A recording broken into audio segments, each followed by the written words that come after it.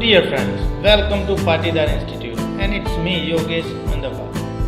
आज हम बात करेंगे मॉडल वर्ब शूट के बारे में। जैसा कि आप जानते हैं मॉडल वर्ब हेल्पिंग वर्ब ही है लेकिन इंग्लिश ग्रामर में उनका उपयोग अलग तरीके से होता है। तो ये है शूड शूड का मतलब है कुछ करना चाहिए। क्या करना चाहिए? तो शूड का अकेला मीनिंग नहीं निकलता है। उसके साथ जब मेन वर्ब मुख्य क्रियापद शामिल होता है तो उसका पूरा अर्थ निकलता है। जैसे कि शुड ईट यहाँ ईट मेन वर्ब है। शुड ईट यानी खाना चाहिए। मतलब मॉडल वर्ब शुड के साथ हमेशा कोई ना कोई मेन वर्ब यानी वी वन शामिल होता ही है, तभी उसका अर्थ निकलता है। जैसे कि शुड वर्क यानी काम करना चाहिए। शुड गिव यानी देना चाहिए। शुड वोट यानी मतदान करना चाहिए। तो एक बात आप हमेशा याद रखें कि सब मॉडल वर्ब हेल्पिंग वर्ब ही है, लेकिन वाक्य में उनका काम दूसरे हेल्पिंग वर्ब से अलग है। पूरे इंग्लिश ग्रामर में शुड का उपयोग कुल तीन टेंस में होता है। पहला है प्रेजेंट टेंस में। अगर शुड का उपयोग प्रेजेंट टेंस में हुआ है, वर्तमान काल में हुआ है तो उसका उपयोग सलाह देने के लिए हुआ है। जैसे कि एक उदाहरण है। यू शुड मैरी नाउ आपको अब शादी करनी चाहिए। तो यहाँ आप वर्तमान काल में किसी को शादी करने की सलाह दे रहे हैं। तो जब शुड का उपयोग प्रेजेंट टेंस में किसी को सलाह देने के लिए किया जाएगा तो उसका सेंटेंस स्ट्रक्चर ऐसा होगा। पहले आएगा सब्जेक्ट, उसके बाद मॉडल वर्ब शुड उसके बाद आएगा विवन यानी क्रियापद का पहला रूप, उसे बेस फॉर्म भी कहते हैं, और उसके बाद ऑब्जेक्ट अगर आप इस वाक्य को नेगेटिव बनाना चाहते हैं तो बहुत आसान है। You should not marry now आपको अब शादी नहीं करनी चाहिए।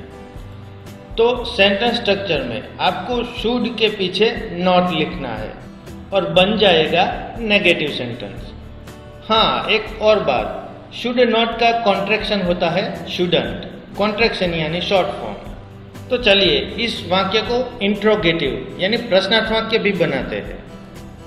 तो वाक्य कुछ ऐसा होगा। शुड यू मैरी नाउ आपको अब शादी करनी चाहिए। तो प्रश्नार्थ वाक्य बनाने के लिए मॉडल वर्ब शुड वाक्य में पहले आएगा। उसके बाद होगा सब्जेक्ट उसके बाद रहेगा मेन वर्ब यानी वी वन और उसके बाद ऑब्जेक्ट और लास्ट में क्वेश्चन मार्क अब बात करते हैं शुड के दूसरे उपयोग की। शुड का दूसरा उपयोग पूर्ण भूतकाल में किसी को सलाह देने के लिए होता है। यानी परफेक्ट पास्ट टेंस में किसी को एडवाइस देना। कैसे? तो चलिए एक उदाहरण पढ़ते हैं। यू शुड हैव मैरिड यानी आपको शादी कर लेनी चाहिए थी। यहाँ आप किसी को कुछ कर लेना चाहिए था।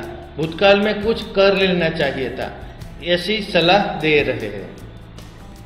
तो जब शुड का उपयोग भूतकाल में किसी को सलाह देने के लिए किया जाएगा तो उसका सेंटेंस स्ट्रक्चर ऐसा होगा।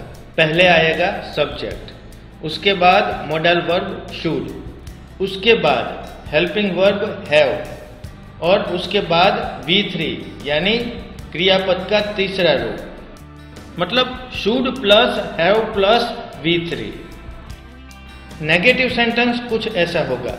You should not have married आपको शादी नहीं कर लेनी चाहिए थी। नेगेटिव वाक्य का सेंटेंस स्ट्रक्चर होगा शुड के पीछे नॉट लिखना। यानी शुड नॉट हैव मैरिड इसका इंट्रोगेटिव सेंटेंस कुछ ऐसा बनेगा। शुड यू हैव मैरिड आपको शादी करनी चाहिए थी। तो इंट्रोगेटिव सेंटेंस में पहले आएगा मॉडल वर्ब शुड उसके बाद सब्जेक्ट और फिर उसके बाद हैव प्लस बी थ्री और लास्ट में क्वेश्चन मार्क अब बात करते हैं सूट के तीसरे उपयोग की. सूट का तीसरा उपयोग चालू वर्तमान काल में किसी को सलाह देने के लिए होता है. You should be doing a marriage आपको शादी करते होने चाहिए. यानी ऐसा भी कह सकते हैं, आप शादी कर रहे होने चाहिए. इसका मतलब ये हुआ कि अभी इसी वक्त आपकी शादी होने की क्रिया चालू होनी चाहिए थी, जो अभी तक चालू नहीं हुई है। तो कंटिन्यू प्रेजेंट टेंस में शुड का उपयोग जब करेंगे तो सेंटेंस स्ट्रक्चर ऐसा होगा। पहले आएगा सब्जेक्ट यू उसके बाद मॉडल वर्ब शुड उसके बाद be plus V one I N G और अंत में ऑब्जेक्ट इस वाक्य का नेगेटिव ऐसा बनेगा you should not be doing a marriage यानी आप शादी नहीं करते होने चाहिए, अथवा आप शादी नहीं कर रहे होने चाहिए। तो नेगेटिव सेंटेंस स्ट्रक्चर में शुड के पीछे आएगा नॉट उसके बाद be plus V one I यानी शुड नॉट बी डूइंग और इसका इंट्रोगेटिव सेंटेंस कुछ ऐसा बनेगा should you be doing a marriage आप शादी करते होने चाहिए, अथवा आप शादी कर रहे होने चाहिए? तो सेंटेंस स्ट्रक्चर कुछ ऐसा रहेगा। पहले आएगा मॉडल वर्ब शुड उसके बाद सब्जेक्ट उसके बाद be plus V one I N G और उसके बाद ऑब्जेक्ट और अंत में क्वेश्चन मार्क